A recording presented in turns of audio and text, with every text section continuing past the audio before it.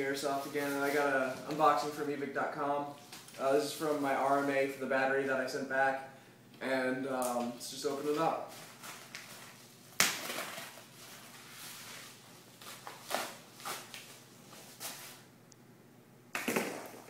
So what I have here is a um, tiny ass radio pouch for a radio, like a mouse. Radio, yeah. And what I have here is a uh, headset. No wait, that's the uh, push to talk button actually.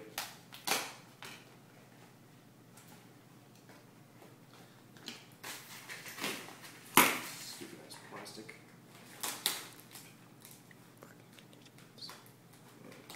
This is the push to talk.